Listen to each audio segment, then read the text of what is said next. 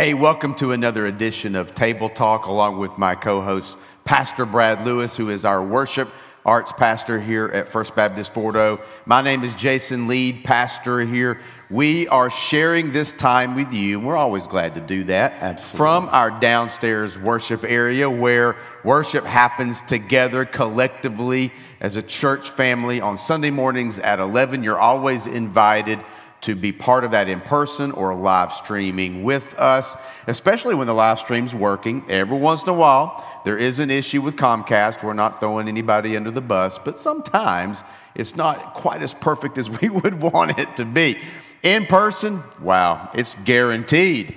Live streaming, we do the best we can. In fact, if you've gone back to watch the most recent sermon that'll go with this table talk, you'll find it on our webpage. And Brad's going to tell you all about how to find that, even though the live stream had a little bit of a hiccup. It does that sometimes. So, what is Table Talk? We share these moments with you every week. It's a way to go a little deeper into God's Word.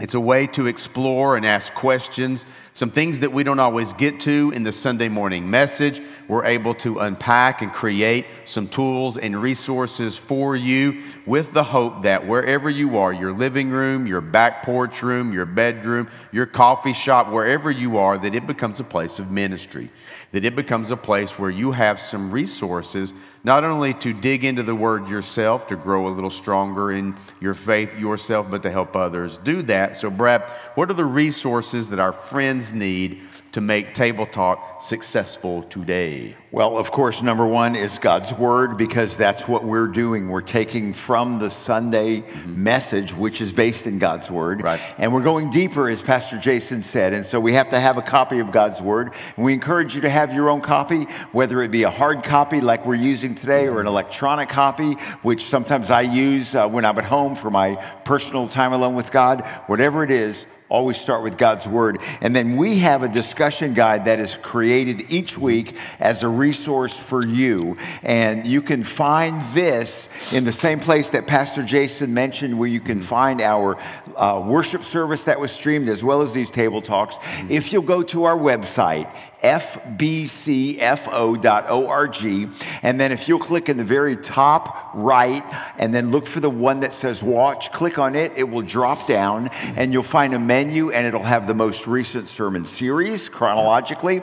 If you'll click in that sermon series, you'll have chronologically the most recent sermon, the most recent table talk, and of course, you'll find this discussion guide. Final ingredient where we encourage you, whether you're doing this for your own own personal growth, we encourage you to invest in other people. May it one person or a group of people spend time together in God's Word, going deeper. Absolutely. And so think about it this way Table Talk will, in fact, this edition flows right from part three of our series on those better pathways that lead us closer to Jesus. So when you found that series, you'll find this table talk, they go hand in hand. So just think about it as going hand in hand, hand to glove with that most recent sermon.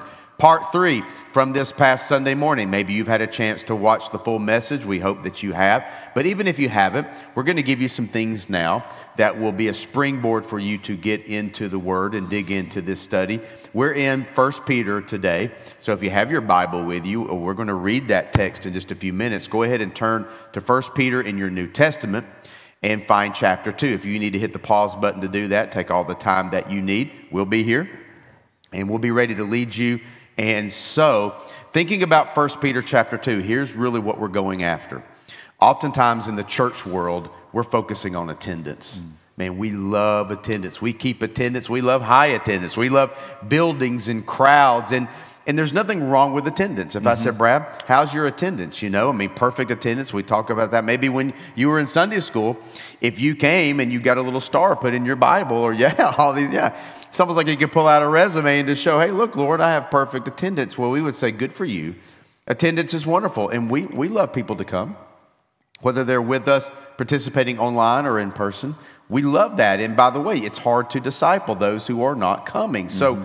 we also emphasize the importance of being together as the church. But if that's the bar, if it's simply attendance, then is there something else missing to really help you grow and become more like Jesus. If, if the emphasis is only on attendance, then maybe something is missing. And when we read 1 Peter chapter 2 to you, there's some things that are going to jump out where he says, Listen, you're a living stone. You are becoming more like Jesus. You are part of his priesthood. You, in essence, you're a minister.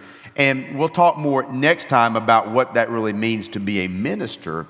But just thinking about attendance, and, and oftentimes we hear people say, well, I need to be in church more, or and, and, maybe you do, or I wish someone in my family, my grandchild or my grandson, granddaughter, I wish they would be in church, and we would say, hey, that's a great place to be. But is that the end game? You know, Brad, what do you think right. about? We were just talking about that. Yeah, it, it, in fact, you mentioned Endgame. Um, many years ago, I was a youth pastor, and, and I'm going to tell two quick experiences. The first one was many years ago when I was a youth pastor.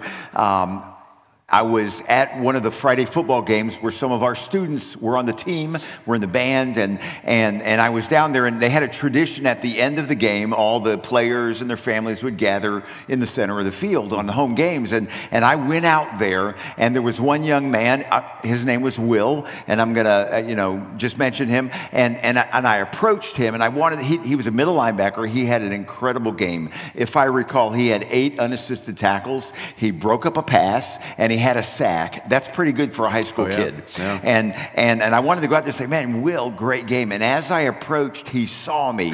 and here's what he said Oh, Brad, I'll be at, I'll be at church this Sunday. Mm-hmm. Those were his words. And it broke my heart yeah. because he related me to be i want to make sure you're at church on sunday mm-hmm. where i wanted it to be related to man I'm investing in you in a relationship. And, right. and from that point, I spoke to my leaders and, and I, I, you know, that was on me, but I said, make sure that the students that you minister to and you're discipling and you're pouring into know that you care about them a whole lot more than you care about them being at church. Yeah. And, and that was important. Well, just the other day, Pastor Jason, mm-hmm. I was in a conversation and, and this person said, you know, Brad, I, I really wish my grandkids right would come to church. And, and I thought, and, and I began to talk about this and mention, I said, you know, um, it, it really isn't about them being at church because the motivation for them being at church has to come from deep inside. Right. It's, it's not cart before the horse. If they have a relationship with Christ, if they are walking with Jesus, if they are growing with Him, they're going to want to be there. But if we say, well, just come to church, come to church, come to church, you know, sometimes, Jason, I go to the grocery store. Right. and the reason why is because I have to buy food. Something within me says, you're hungry, you need food. but I don't go to the grocery store just because, you know, I'm going to go down there and just hang out with people because that's the place to go. And all the other people are there. I'm right. just going to go there. And so we need to think of why do I come to church? And, and even one of the questions is what are the risks of mere attendance mm-hmm. when it comes to our personal salvation? Attendance does not bring me in a relationship with Christ. Right. Rather, my relationship with Christ causes me to want to be in attendance. Right. And so when we read 1 Peter chapter 2, you're going to see God is building something. And you can go back to a cross reference like Matthew 16, 18, where Jesus says, I'm going to build my church, and the gates of Hades will not prevail against it. When Jesus uses the word church, he's not talking about a physical building that we occasionally show up to go inside of, you know? That he's talking about a relationship, right. he's talking about a confession, he's talking about an identity that through faith, when we trust him as Lord and Savior, wow, I mean, it changes who we are that we are part of the church. We are his church. We're part of the body of Christ. And it's, it's identity. It does inform and impact what we do, but it's more about who we are. The hard part about attendance is it's so stressed that you need to be here every time the doors are open, is that there's a risk that some people just pull out their resume and say, Look at this. All about what I've done is if that makes them right with God. Mm-hmm. And it can be very uh, uh, confusing. Right. We would say, Yes, it's so good to be part of a gathering of believers. Mm-hmm. Absolutely. But let's just read what God gives to us in 1 Peter as we're thinking about if attendance is the only end game we have, then we are really setting the bar low and we're missing that greater mark of relationship and really being part of and contributing to what God is building the kingdom of God, the, the people of God, the church, the mission all these things that we hear. We're going to see reference to that in 1 Peter. So let's just read it. Of course, we have a discussion guide that you'll be going through. We don't hit on the questions as much as we want to set it up for you to be able to walk through these questions. So pay attention to what we read here because it will give you a direction in how you go about digging into these questions. This is the word of God from 1 Peter chapter 2, beginning in verse 4. Peter says, As you come to him, and he's not talking about physical attendance there, he's saying, as you are growing in your relationship with Jesus, he is a living stone, rejected by men, but in the sight of God, he's chosen and precious. You yourselves, there, that's emphasized, like living stones. The more you're becoming like him, you're being built up as a spiritual house to be a holy priesthood, to offer spiritual sacrifices acceptable to God through Jesus Christ. For it stands in Scripture, and here Peter quotes from the Old Testament Behold, I'm laying in Zion, God says, a stone, a cornerstone, chosen and precious, and whoever believes in him will never be put to shame. So Peter says, The honor is for you who believe, but for those who do not believe, the stone that the builders rejected has now become the cornerstone. And he quotes here, a stone of stumbling and a rock of offense for those who don't believe. They stumble, he says, because they disobey the word as they were destined to do. But you, as a believer, you are a chosen race, he says, a royal priesthood, a holy nation, a people for God's own possession, that you may proclaim the excellences of him who called you out of darkness into his marvelous light. Once you were not a people, but now you are God's people. Once you had not received mercy, but now you have received mercy. As you read into that, what God is building, and it is spiritual, it is life upon life, built on the confession that Jesus is truly God, our Lord and Savior. That as we confess that, God is building us into. You think about what the mortar might be, like the Holy Spirit and the Word of God that binds us together. That you are now part of something that matters because it's God's and He's building it and it will last unto eternity. So we begin to see wow, a casual check mark of the box that I attended something is not what God's describing here at all. mm It's something so much more, right? Right. And so that's what we're praying for you. In fact, Brad's going to have the last word and pray over us. But think about that as you dig through these questions. Am I really connected to what God is building? Am I really committed to it like a minister would be?